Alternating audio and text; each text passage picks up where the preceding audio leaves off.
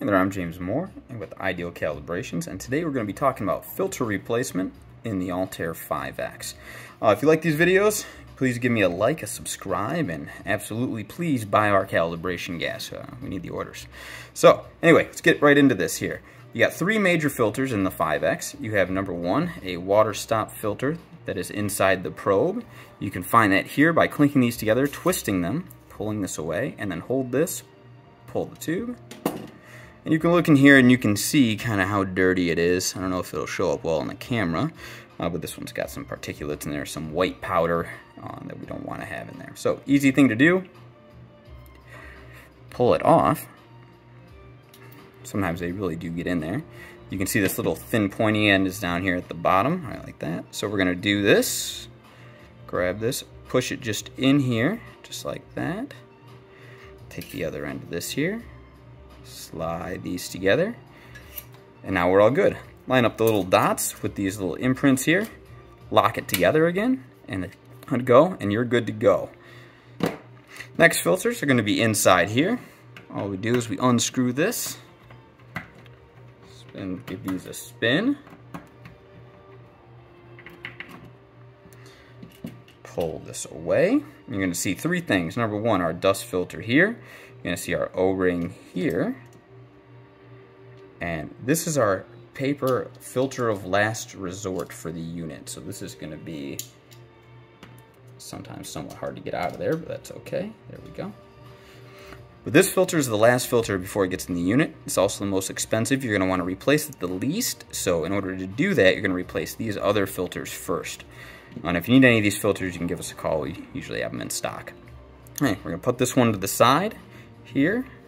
Grab our other one, our nice new disc filter.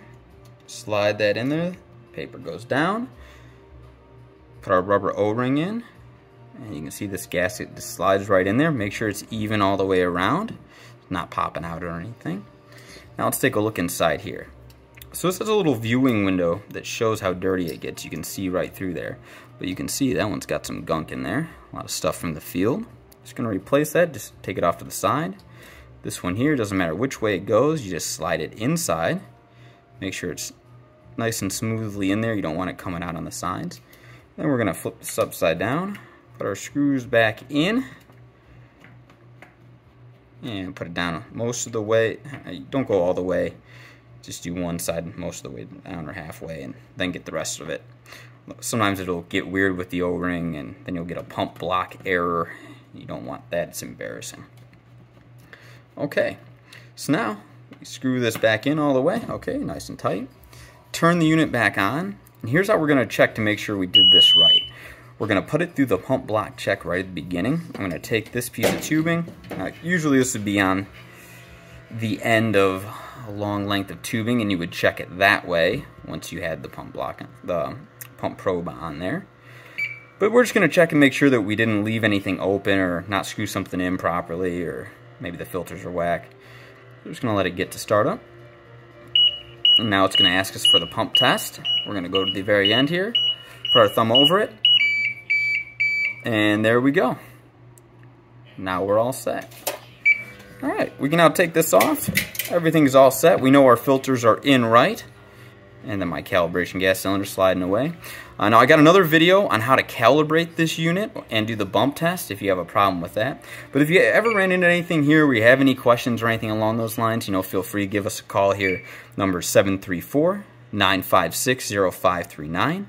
Again, that's 734 956 0539. You can also find us on the web at idealcalibrations.com. But you guys all stay safe out there and leave a comment if you have any questions. Thank you. Bye-bye.